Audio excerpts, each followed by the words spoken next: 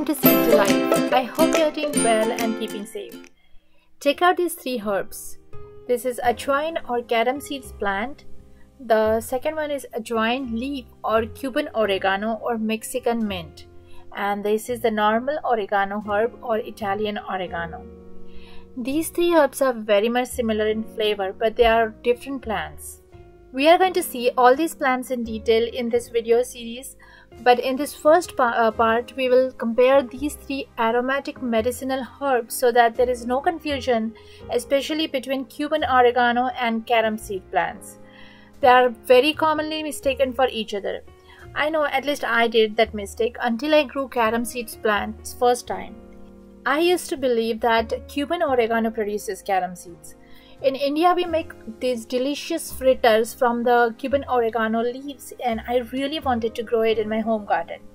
I have grown Cuban oregano before, but it didn't produce any seeds that year, and it died in winter, so I never really got the opportunity to see the seeds. I started carom seeds in hope to grow some flavorful Cuban oregano and ended up getting this plant that looked nothing like Cuban oregano. If you're like me who get confused between these two plants, let's clear our confusion completely. Let's begin.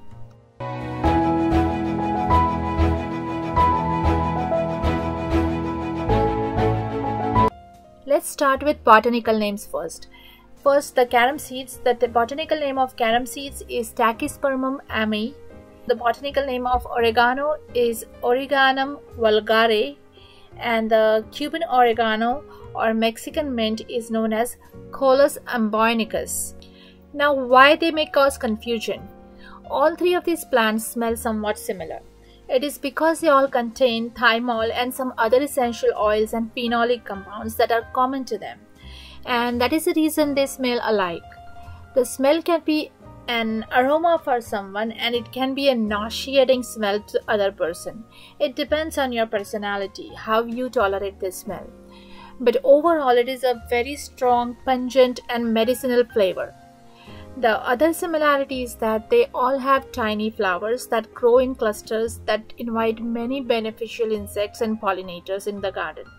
The third similarity is that all three of these plants grow super fast, so you can use them to quickly fill up the empty spaces in your garden.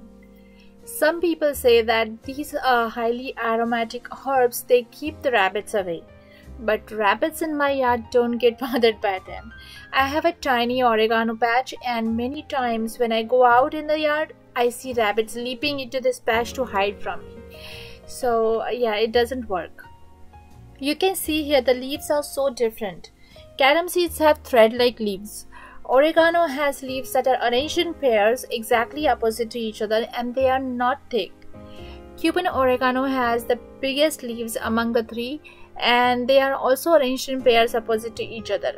The leaves are thicker and stiffer. I crush the leaves to smell them and carom seed leaves are very pungent compared to the other two. Oregano has a strong but very uh, pleasant smell.